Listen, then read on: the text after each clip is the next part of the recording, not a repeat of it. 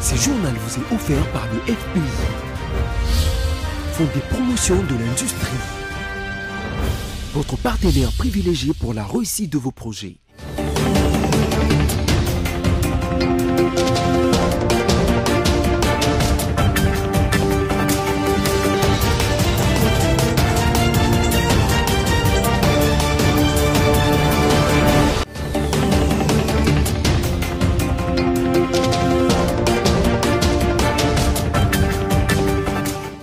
Jeudi 6 février 2020, il est l'heure des informations sur BSC TV. Mesdames, Messieurs, voici le sommaire. Arrivée à Kinshasa depuis hier mercredi 5 février 2020, Sophie Wilmès, première ministre belge, a échangé ce jeudi avec le président de la République Félix Antoine Tshisekedi Chilombo. Quelques minutes avant, la diplomate belge a été reçue par son homologue congolais Sylvestre Ilunga Kamba en santé pour prévenir le coronavirus en République démocratique du Congo. Les dispositifs pour examiner les voyageurs à leur arrivée en République démocratique du Congo ont été installés à l'aéroport international de Njili.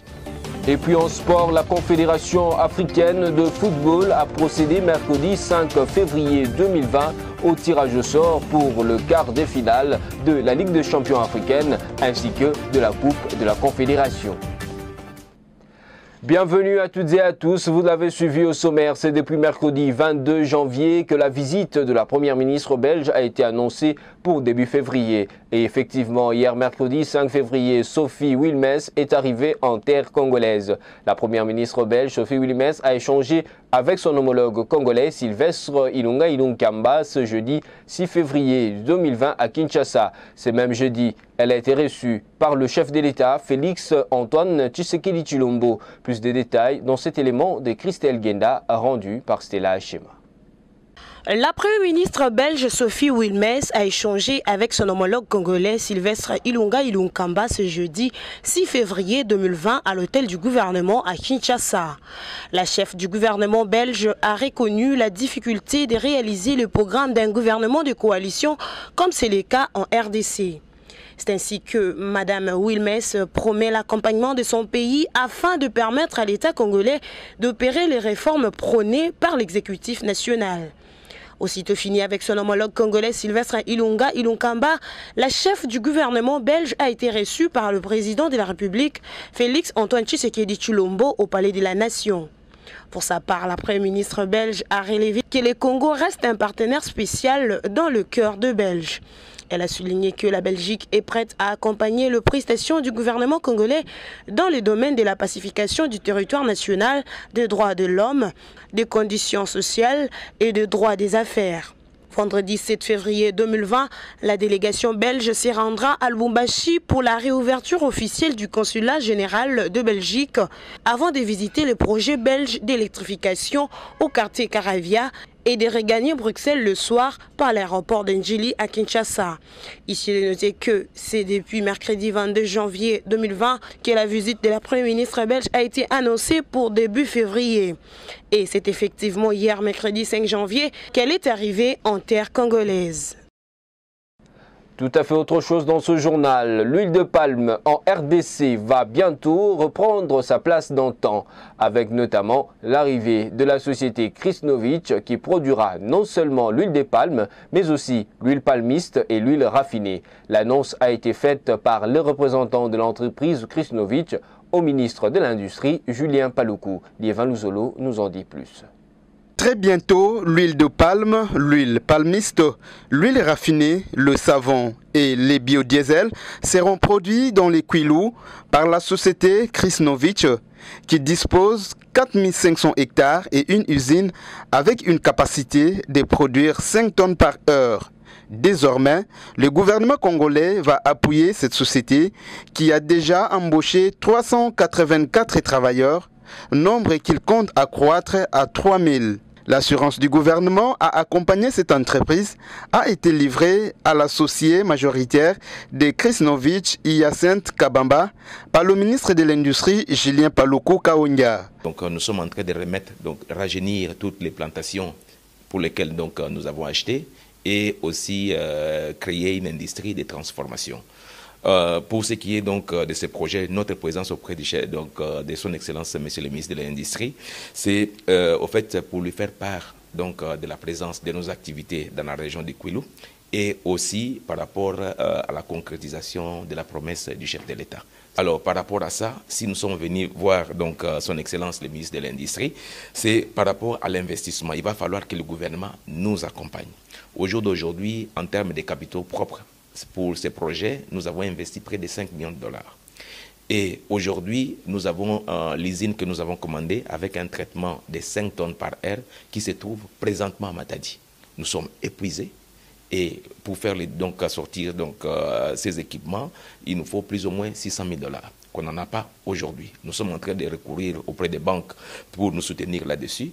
Et aussi, nous avons rappelé donc euh, à son Excellence, le ministre de l'Industrie, la promesse du chef de l'État. Le président était très touché par rapport à ces projets et il a promis une subvention de près de 1 500 000 dollars. Un, euh, comme nous avons dit, nous sommes euh, dans la production d'huile de palme. Et les machines que nous avons commandées donc, vont produire l'huile de palme brute, l'huile palmiste et l'huile raffinée. Et en plus de cela, il y a une autre machine qui sera mise en, exploitation qui va produire le biodiesel. Vous savez, le contrée où nous sommes, il n'y a pas de courant. Et par rapport à ça, donc notre propre huile de palme va servir de carburant pour nos machines, nos engins et aussi, nous envisageons aussi de mettre aussi notre station dans la nationale numéro 2 pour, pour vendre donc euh, ces carburants. Dans le souci de mobiliser ce service en faveur de l'exercice budgétaire 2020, le ministre des Finances, José Lagouli, séjourne dans les Grands Katanga. À Lubumbashi, le ministre national des Finances a eu une séance de travail avec les responsables des différents régies financières. Images et commentaires. C'est de connivence avec le chef du gouvernement et avec la bénédiction du président de la République que le ministre national des Finances, José Sele Yalagouli, a effectué un déplacement dans le Grand Katanga. Au bas de la passerelle pour l'accueillir, le vice-gouverneur du Haut-Katanga, Jean-Claude Confoy Kimimba, et plusieurs autres personnalités politico-administratives de la province. L'objectif de cette mission officielle du patron des finances RD congolais rentre justement dans la vision managériale du chef de l'État Félix Antoine Tshisekedi, qui est celle de mobiliser les recettes afin d'obtenir les moyens de sa politique. La province du Haut-Katanga est la plus grande pourvoyeuse de recettes pour le trésor public, donc euh, c'était tout à fait normal qu'au début de l'exercice budgétaire 2020, que je puisse mobiliser les services autour euh, du budget de l'exercice 2020. Aussitôt arrivé au Pullman Grand Caravia Hotel, le ministre national de Finances, José Sélé Alagouli, a convié les responsables des différentes régies financières provinciales à une séance de travail hautement technique.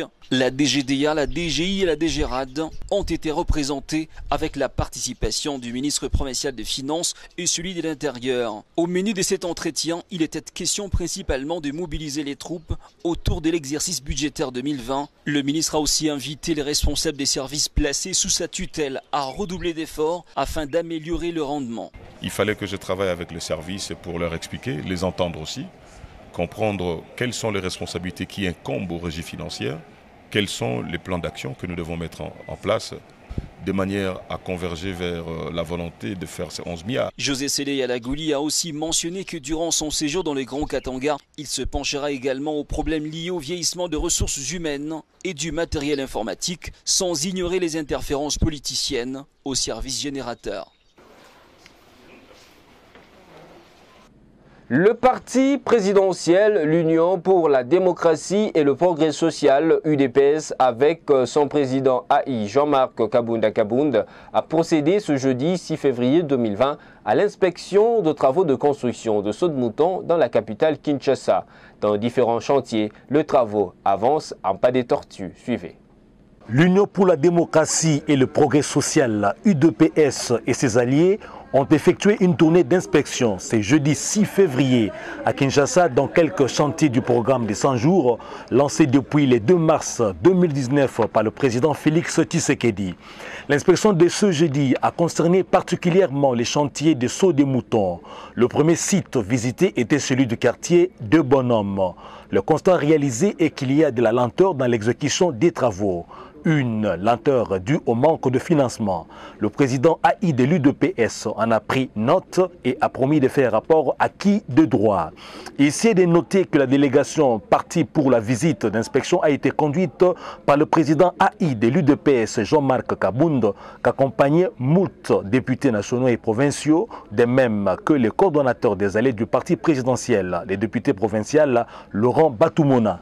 Poursuivant santé, lutte contre le coronavirus en RDC, les dispositifs pour prévenir et examiner les voyageurs à leur arrivée en RDC ont été installés à l'aéroport international de Njili. Images et commentaires. Depuis que le coronavirus a été déclaré risque de santé publique à portée internationale par l'Organisation mondiale de la santé OMS, chaque pays cherche à prévenir et à sécuriser sa population. C'est le cas de la République démocratique du Congo, dont les autorités ne ménagent aucun effort pour sécuriser la population. Selon les dernières informations mises à jour par l'Organisation mondiale de la santé en RDC, OMS RDC, de ce mercredi 5 février à 21h11, l'OMS rappelle qu'il n'y a pas d'épidémie de coronavirus en RDC.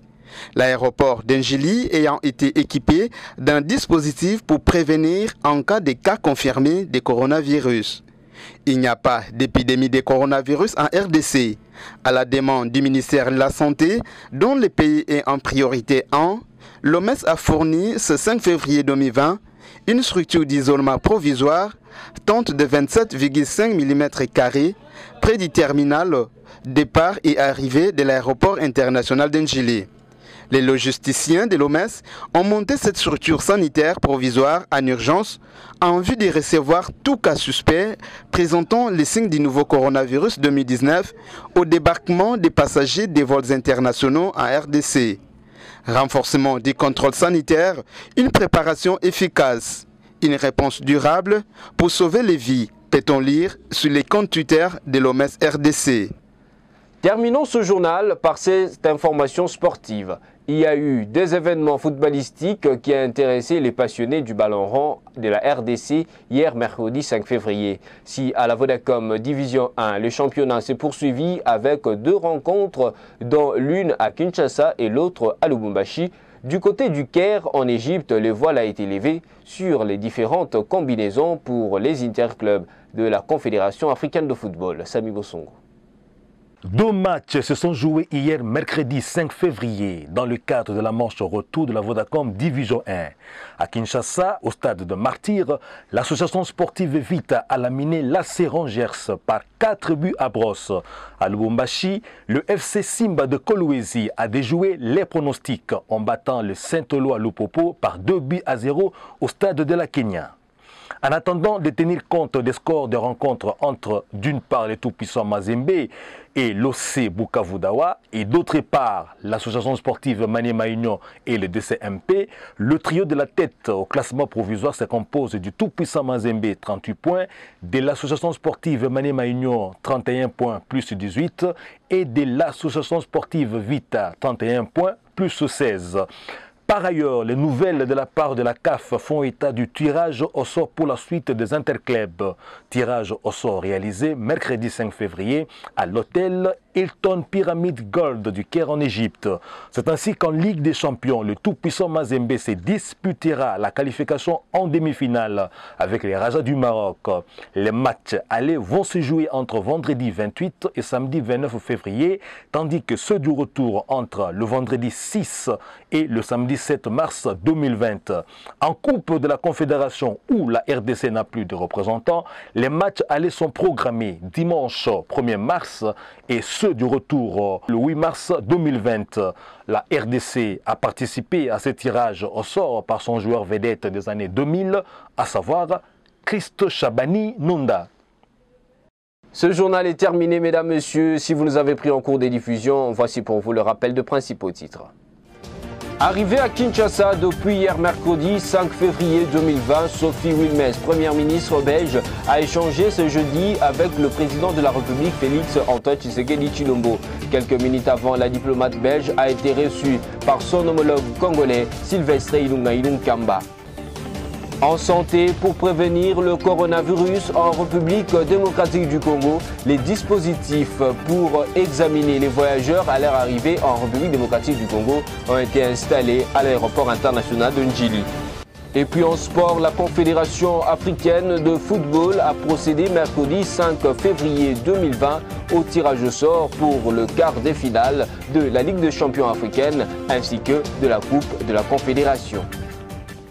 Nous avons fini pour aujourd'hui. Vous nous avez suivis depuis la commune de Limité à Kinshasa. Restez fidèles à BSC TV. Je vous retrouve à la fois prochaine et avec le même plaisir. Merci.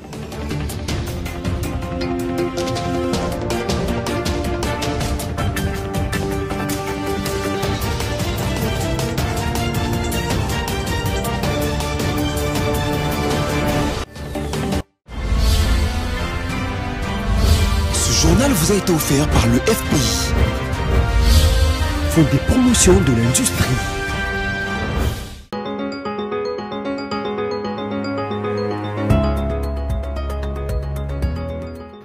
Mesdames, Messieurs, merci de votre fidélité. Voici la lecture résumée de journaux parus en ligne ce jeudi 6 février 2020.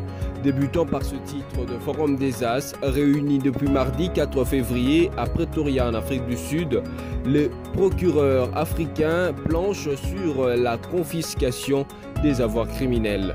À la tête d'une délégation composée des hauts magistrats, le procureur général près la Cour de cassation, Florika Bangenumbi, participe depuis le mardi 4 février dernier à une conférence sur la lutte contre les crimes transnationaux et le renforcement de la confiscation des avoirs dont le travaux s'est clôture ce jeudi à Pretoria en Afrique du Sud. Les participants à cette rencontre de haut niveau vont non seulement partager l'expérience, mais surtout voir comment renforcer la confiscation des avoirs des criminels. Cette conférence intervient au moment où plusieurs États africains sont déterminés à combattre ces fléaux qui ennilent l'élan des nations de venir à bout de la pauvreté de peuple. Poursuivons notre revue de presse avec actualité.cd qui écrit RDC, le parti présidentiel inspecte le travaux de de mouton à Kinshasa, le travaux piétine. L'Union pour la démocratie et le progrès social UDPS ainsi que ses alliés effectuent une tournée ce jeudi 6 février à Kinshasa dans quelques chantiers du programme de 100 jours lancé par le chef de l'État Félix Tshisekedi. L'inspection va se concentrer particulièrement sur le saut de mouton. La délégation est conduite par le président AI de l'UDPS Jean-Marc Kabound avec plusieurs députés nationaux et provinciaux ainsi que le coordonnateur des alliés du parti, les députés provinciaux Laurent Batoumona. Terminons notre ronde avec Okapi.net qui titre Boutembo. Les personnes délogées du quartier Rugenda rejettent le jugement du TGR. À Boutembo, les habitants du quartier Rugenda ont organisé un sit-in mercredi 5 février devant le parquet près du tribunal de grandes instances de Boutembo. Ces derniers ont été délogés de force de leur maison à la suite d'une décision rendue par la justice en 2015 dans une affaire foncière. Ils étaient accompagnés dans leur manifestation par le groupe de pression La Veranda Muchanga et les Lumumbistes. Ces personnes plaident pour une justice juste. À leur arrivée sur place, le porte du bureau du tribunal de grandes instances TGI de Boutembo était fermé. Seuls les éléments de la police étaient présents dans la cour. Leur porte-parole, Bienfait Matata, a fustigé le jugement rendu dans cette affaire par le TGI de Boutembo qui serait, affirme-t-il, à l'origine de leur malheur. C'est tout pour aujourd'hui. Merci au revoir.